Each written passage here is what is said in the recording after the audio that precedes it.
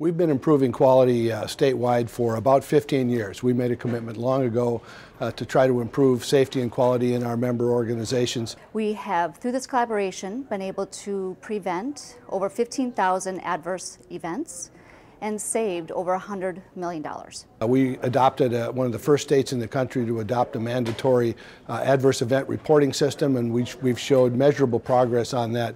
Uh, we've done very well in the hospital engagement network, being able to uh, meet a lot of the metrics that were set out, reducing uh, elective deliveries, reducing readmissions, and improving infection rates and medication errors. Winning the Dick, Dick Davidson Award is really an honor for our organization. It's very affirming of the work that we've been doing for a long time, and we really, really appreciate the AHA and HRET uh, for, their, for their role in recognizing organizations that do this very hard work.